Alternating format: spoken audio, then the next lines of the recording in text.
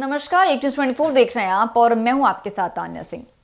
छठ पूजा के अवसर पर रेलवे ने भागलपुर से आनंद बिहार के बीच यात्रा करने वाले यात्रियों की सुविधा को ध्यान में रखते हुए विशेष ट्रेनें चलाने का निर्णय ले लिया है। यह जानकारी पूर्व रेलवे के मुख्य जनसंपर्क अधिकारी सीपीआरओ कौशिक मित्रा ने दी है। उन्होंने बताया कि भागलपुर और आनंद बिहार के बीच दो नई स्पेशल ट्रेनों का संचालन किया जाएगा, ताकि पर्व के दौरान बढ़ी हुई भीड़ को संभाला जा सके। आपको बता दें कि कौशिक मित्रा ने यह भी बताया है कि ट्रेन संख्या शून्य चार शून्य चार, शून्य आनंद बिहार भागलपुर स्पेशल दो नवंबर को सुबह साढ़े ग्यारह बजे आनंद बिहार से प्रस्थान करेगी और अगले दिन सुबह साढ़े ग्यारह चालीस बजे भागलपुर पहुंचेगी। यह निर्णय रेलवे ने त्यौहार के मौसम में यात्रियों की भारी भीड़ को और उनकी यात्रा को सुविधाजनक बनाने के लिए लिया है। उन्होंने कहा है कि पर्व त्योहारों के दौरान यात्रियों की संख्या में भारी वृद्धि को ध्यान में रखते हुए हमने ये फैसला किया है। आनंद बिहार से भागलपुर और भागलपुर से आनंद बिहार के बीच स्पेशल ट्रेन चलाने की योजना बनाई गई है, ताकि यात्रियों को कोई असुविधा न हो। भागलपुर से आनंद बिहार के लिए गाड़ी संख्या शून्य चार, शून्य तीन, नौ, भागलपुर आनंद बिहार स्पेशल ट्रेन तीन नवंबर को दोपहर ढाई बजे भागलपुर से रवाना होगी।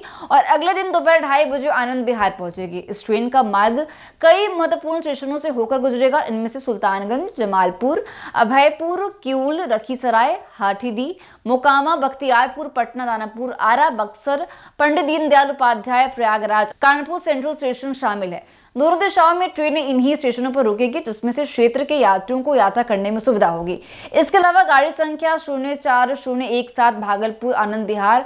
एक तरफा स्पेशल ट्रेन दो नवंबर को सुबह साढ़े छह बजे भागलपुर से प्रस्थान करेगी और अगले दिन सुबह साढ़े छह बजे आनंद विहार पहुंचेगी। इस ट्रेन का भी मार्ग वही रहेगा, जिसमें सुल्तानगंज, जमालपुर, अभयपुर, किऊल, लखीसराय, हाथीडी, मुकामा, बख्तियारपुर, पटना, दानापुर, आरा, बक्सर, पंडित दीनदयाल उपाध्याय, प्रयागराज और कानपुर सेंट्रल जैसे प्रमुख स्टेशन शामिल होंगे।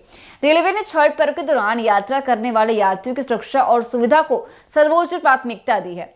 सीपीआरओ कौशिक मित्रा ने बताया कि त्योहारों के मौसम में बड़ी संख्या में यात्रियों के रेलवे स्टेशन पर जुटने की संभावना को देखते हुए रेलवे सुरक्षा बल आरपीएफ ने सुरक्षा के कड़े इंतज़ाम किए हैं। प्लेटफॉर्म फुट ओवर ब्रिज और स्टेशनों पर अतिरिक्त आरपीएफ कर्मियों की तैनाती की गई है ताकि यात्रियों की सुरक्षा सुनिश्चित की जा सके। इसके अलावा यात्रियों को भीड़ प्रबंधन में मदद करने और जरूरतमंद लोगों को सहायता प्रदान करने के लिए रेलवे के व्यवसायिक और अन्य कर्मचारियों को भी सक्रिय किया गया है। वही आपको बता दें कि रेलवे का प्रयास यह सुनिश्चित करना है कि हर यात्री सुरक्षित और आरामदायक यात्रा कर सके, खासकर त्योहारों के दौरान जब भीड़ सामान्य दिनों की तुलना में कई अधिक होती है। पर्व के दौरान इन विशेष ट्रेनों के संचालन से न केवल यातायात प्रबंधन आसान होगा, बल्कि लोग बिना किसी परेशानी के अपने गंतव्य तक पहुँच सकेंगे। रेलवे ने यात्रियों को सुझाव दिया है कि वे समय से पहले स्टेशन पहुँचे और रेलवे के निर्देशों का पालन करें, ताकि किसी तरह की अव्यवस्था न हो। तो फ़िलहाल के लिए बस उतना ही। ऐसी तमाम खबरों के लिए देखते हैं एक धन्यवाद।